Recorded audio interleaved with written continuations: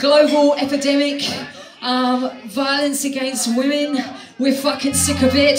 Stop normalizing it at every fucking level, okay? It starts with bossy and it ends in fucking homicide. More than 38 women we have lost this year on this continent alone to intimate partner violence. You say it's a fucking shame!